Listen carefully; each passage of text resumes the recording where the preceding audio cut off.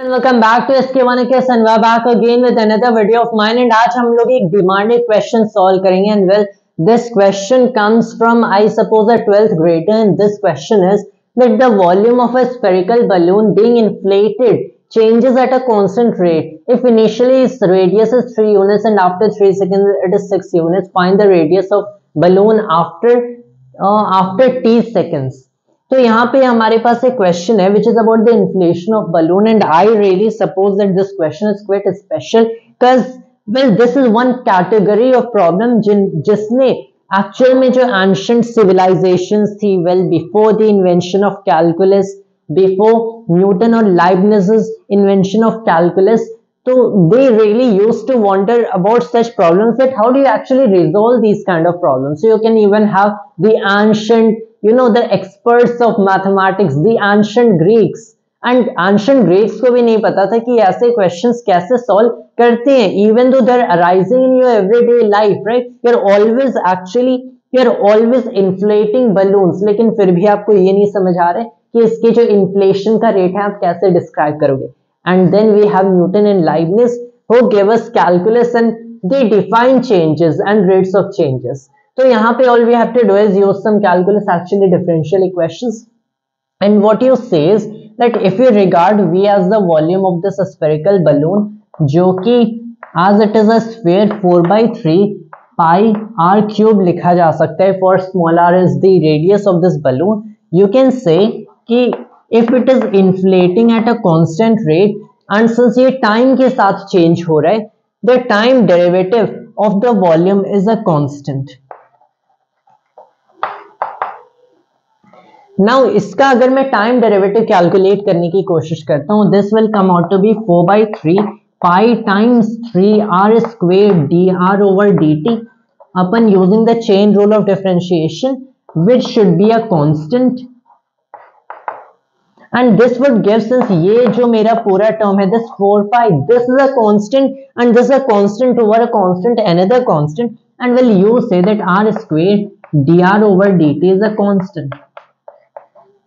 and there we have R differential equation of this problem and हम लोगों ने इतने इजिली एक ऐसा डिफरेंशियल इक्वेशन बना दिया जिसको सॉल्व करने के बाद by whatever these condition applied हम लोग अपना प्रॉब्लम सॉल्व कर सकते हैं। But before that I I'd like to more discuss about the problem itself cause the solution won't really matter that mean to me it is I believe very trivial if you kind of if you have knowledge of differential equation I say well आपके पास एक balloon है so I am resuming from where I stopped before I started discussing the exact mathematics. And if you want to inflate this balloon, so it's like इसका जो volume होगा ये increase करेगा.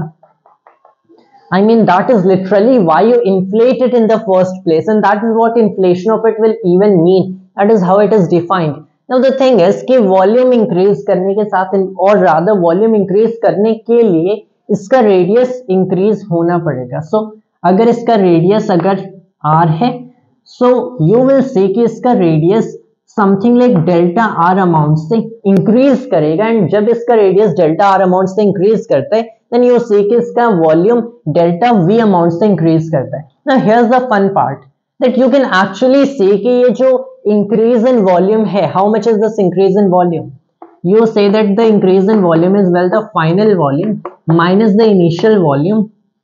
right? that is a change right अब ये final volume क्या है this final volume you see is well something like four by three pi and this is the final radius so that is in r plus delta r cube minus the initial volume had been this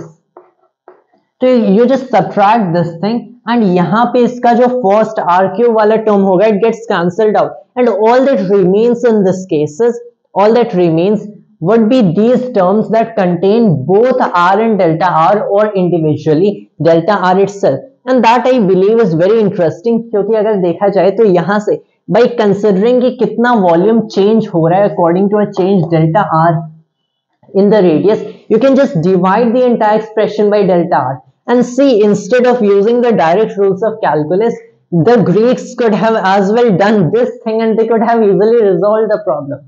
so जैसे हम लोग calculus के approaches build करते हैं without having without really having already the approaches of calculus and the chain rule of differentiation as we use here we could as well say that well here's this one thing that you can you can see and then you can divide this entire thing by delta R maybe and you can find radius के साथ कैसे ये delta we vary करता है and you can as well say कि ये कैसे time के साथ वैरी करते हैं अकॉर्डिंग टू कि कैसे रेडियस टाइम के साथ वैरी कर रहे which largely depends on how quick और how much uh you are glowing in per second right that is what it depends on so now that is that is but the main problem arise in the concept of limits itself and this is why the Greeks were not able to solve this problem क्योंकि limits का concept खुद comes from the concept of in fact इस concept को introduce किया गया था to solve these problems of speeds and distances, not especially of balloons itself or the inflation of balloon. So I think that is maybe the reason Greeks were not able to solve such problems. They couldn't introduce at the right time in the right place the concepts of limit. But never mind, we can solve the problem. We have our differential equation. Getting back to our solution, r squared dr over dt is a constant. Now I will say that this constant is c.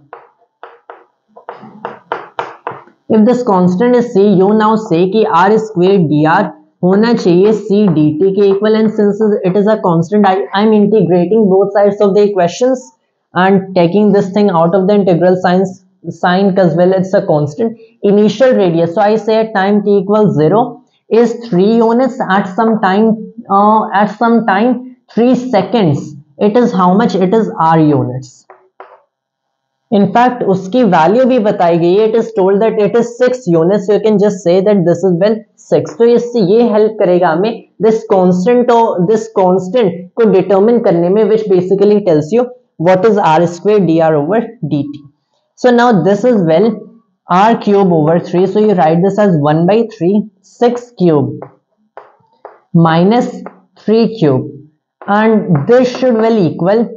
c times this integral which is basically 3c and here we get into some calculations. You have 6 cube